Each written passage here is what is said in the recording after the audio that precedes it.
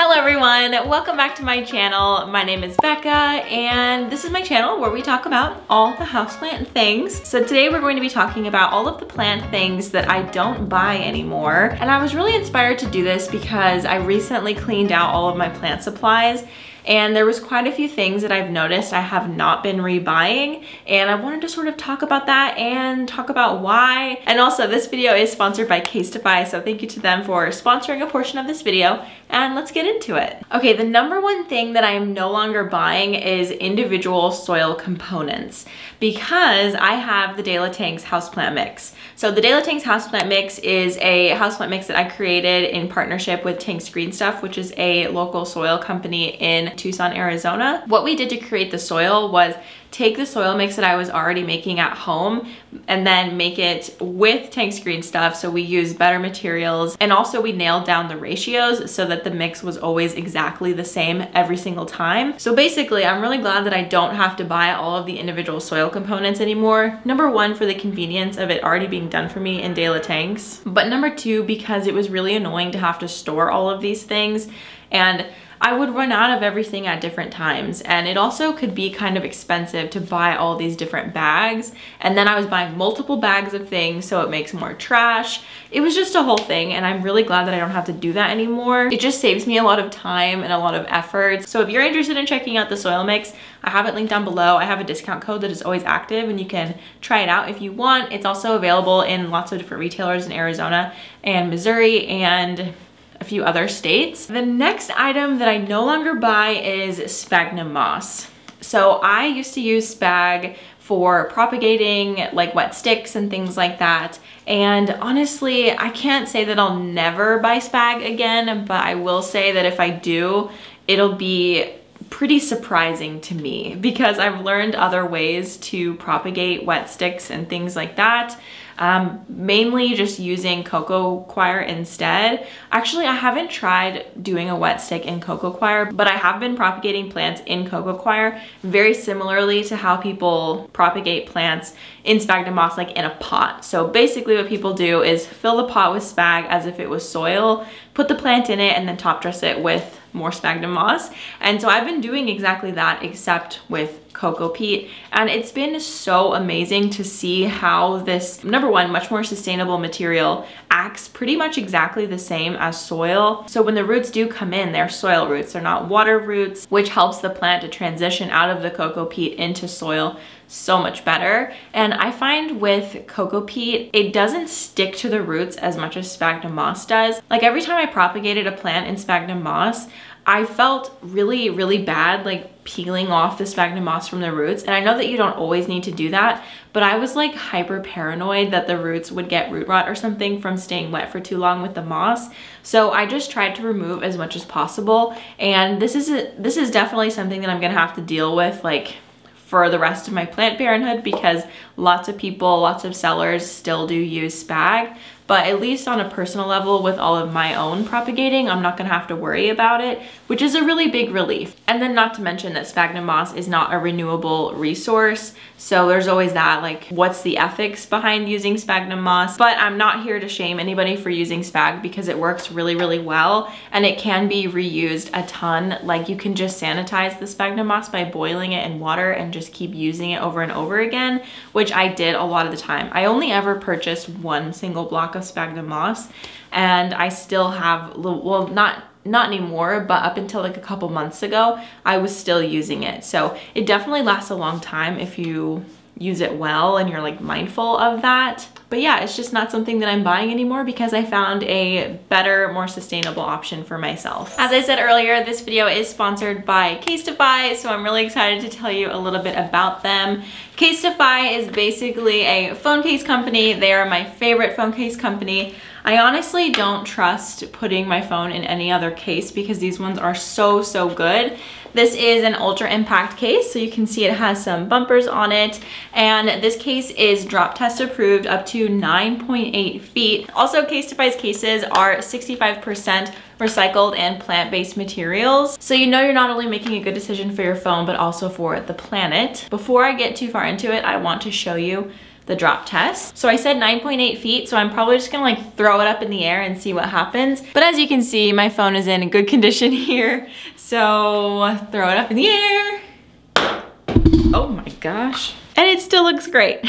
Something really awesome about Casetify is that their cases are non-toxic, non-hazardous, and they have an antimicrobial coating on them, which keeps your case germ germ-free, killing 99% of bacteria. If you're interested in having a case like with the design on it, this is a personal favorite. This artist actually, I'll put their name on the screen so that you can search them up. You can find their specific designs. There's a lot of personalization options from font to color to design and it's all done really easily on their website. I feel like when I was living with a bunch of roommates, a phone case with my name on it would have been absolutely incredible because we all had iPhones and we were always picking up each other's phones on accident. So if you had a phone case with your name on it, literally nobody would be picking up your phone besides you. So anyway, if you're interested in upgrading your phone case, you can check out Casetify in the link down below or go to www.casetify.com slash plants for 15% off your new favorite phone case. The next planty thing that I'm no longer buying are moss pole components. So it is official, I have turned away from moss poles which is like a really, it's like a monumental thing because one of my first videos on YouTube that ever really took off was making a moss pole with sheet moss and I feel like um, I did have a lot of success with that first moss pole I ever made. Like definitely worked really, really well. But after that, I just experienced so many plants never interacting with the moss pole and just never seeing any of the fruits of this support system. And sphagnum moss, I use sphagnum moss in a lot of my moss poles, so that kind of coincides with this one.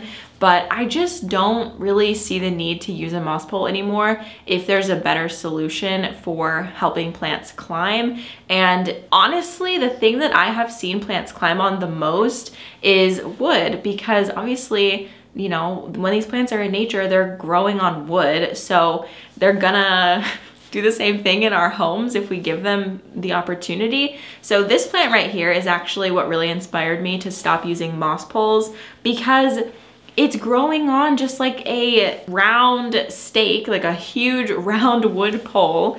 And it's just incredible to see plants doing this. And there's a lot of people out there who are doing plants on planks, myself included. I actually Oh, they're not, they're not here anymore. I had some planks right here.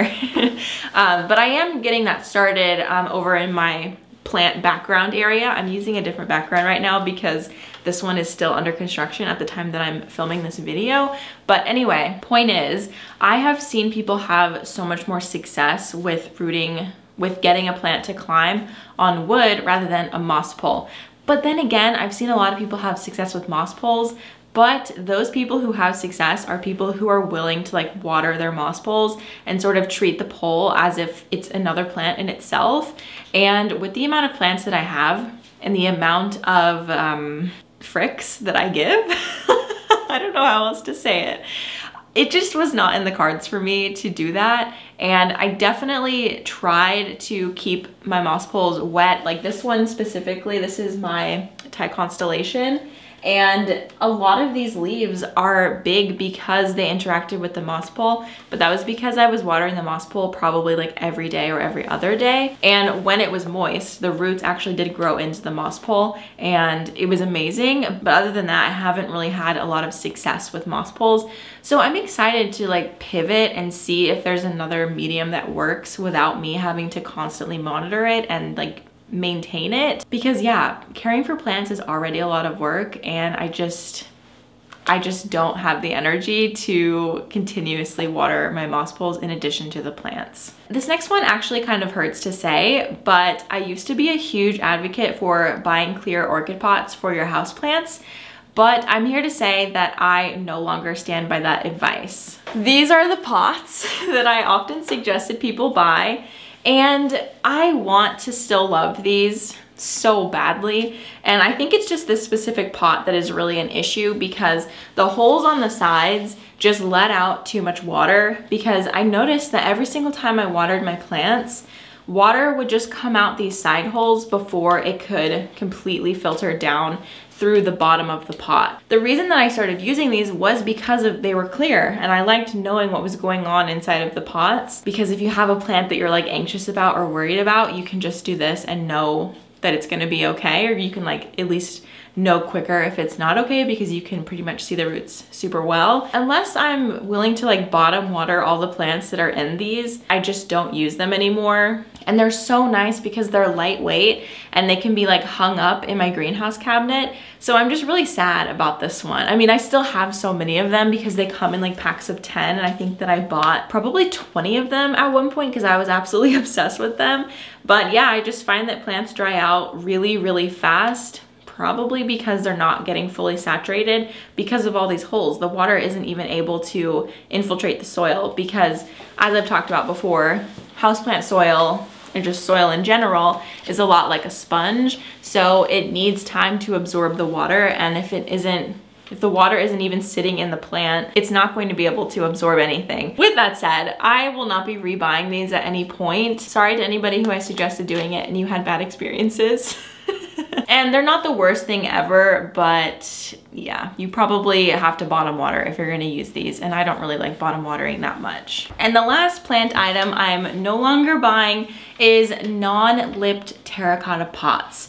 And this one is kind of mm, in between because I am still gonna buy them, but I'm going to be mindful of the fact that the lip on the terracotta pot is really valuable to me in this moment because I'm doing an entire like hanging plant thing on this wall over here, which requires me to use plant clips, which also requires me to have terracotta pots with a lip on it because if I don't have the lip, then the clip is not going to attach very well. So that's a big thing. Um, I have a lot of terracotta, like most of my collection is in terracotta, which I absolutely love, but a lot of the terracotta I'm not gonna be able to use, so I'll probably have to like, I don't give it away or sell it because a lot of my hanging plants are now being transported into terracotta with a lip. So I guess if I'm buying a pot for a hanging plant, I need to make sure that it has a lip, even if it's going to be like in a macrame thing for a while. Like I don't have plans to put it on a hook, but still I feel like